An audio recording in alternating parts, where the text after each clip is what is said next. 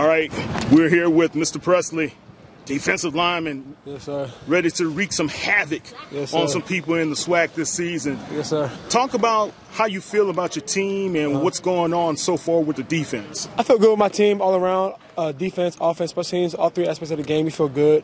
Defense, you know, everybody has to earn everything on us when they line up against us. Um, so we, are real confident going into the season. The mentality that you guys had, talk yeah. about that as well. Yeah, like like I said, uh, we, we you know we're the dark side. That's that's our identity. You know, like I said before, every every time somebody lines up against us, they have to earn every single yard.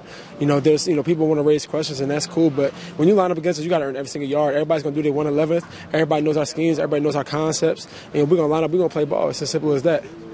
Yeah.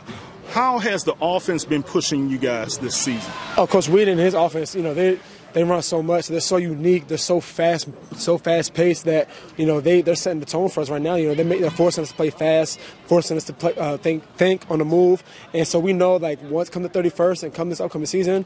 It's gonna be. It's gonna be like. It's gonna be like clockwork. It's gonna be Yeah. like clockwork for us.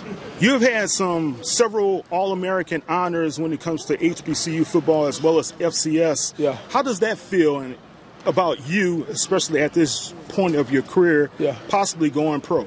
That feels good. It feels good. Man, I, I give thanks to my coaches, to my teammates. I want to be here without them and without, without God as well. You know, I really couldn't do it without my coaches, without my teammates. They push me every single day. They push me as a leader. They push me as a teammate. Coach Bud pushes me in the same way. You know, talking with Coach Rock, talking with Coach Watson, Coach uh, Coach Jackson, telling me what I need to work on, telling me what the whole defense needs to work on. You know, we come out here and we put in the extra work together. You know, it's never an individual effort. We come out here and we put that work in together. So, you know, everybody deserves it. You know, it's, it's cool to get it, but everybody deserves it, honestly. All right. Yes, sir. In a couple of weeks, right on this field, Yeah. you guys face the nemesis out there in Third Ward. Yeah. How you Yeah. guys going to approach that game? I mean, you know, every, your next game is your most important game. Your next game is your biggest game. You know, we don't lose to those guys. We don't lose at home. You know, we're going to defend home turf. Like this, this is our home. We're going to defend home turf. You know, when them gates close and that game start, you know, we're going to see who's who. It's as simple as that. I do have an inside question I want to ask about. I think you guys have been underrated this season. Yeah. As well as I know it's been that way for a long time with PV, and every year you guys are right there competing for the division championship. Absolutely. What's the, the tone of the the whole team? You being one of the leaders about just being underrated once again. Yes, sir. Well, I said it at SWAC Media Day.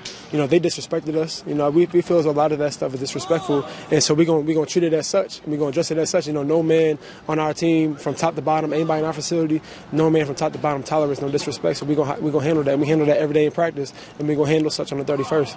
All right. Yes, sir. What's your major? Uh, so, sociology, my master's sociology. All right, all right. Yes, sir. That's a good one. Good Yes, one. sir. And tell everybody why they should keep their eye on you. You know, just fast pace, high motor, just working to get to the quarterback, working to make plays. The whole D line is so. You know, just blessed to be in this position and blessed to uh, in my going into my last year with the winning program, with the winning coach, winning teammates, and uh, be on top. We're looking forward to being on top. You know, I cover the the Saints as well. Okay. You remind me of Cam Jordan, man. Oh, really? Okay, that's an honor. I appreciate it. Yeah, your your presence, how you uh, communicate, Okay. as well as your game. Thank you. I appreciate that. That means a lot. That's an honor. I appreciate it. Thank you. All right, you're Thank you, welcome. sir. and look, tell everybody what to expect when the Labor Day Classic kicks off. A dub. A dub. An exciting dub. That's it. An exciting dub on the hill, man. No more day on, on the hill. Another Saturday on the hill, man. That's it. Okay. That's it. All Yes, right, that's Mr. Pressley. Thank you so much. Yes, sir. Thank you very much. I appreciate you. You're welcome.